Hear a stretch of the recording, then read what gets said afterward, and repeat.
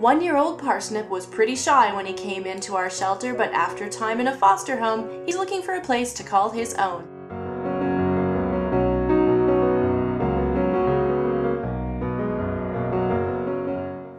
He's very smart and very sweet and would love to attend a Scaredy Dog class with his new family.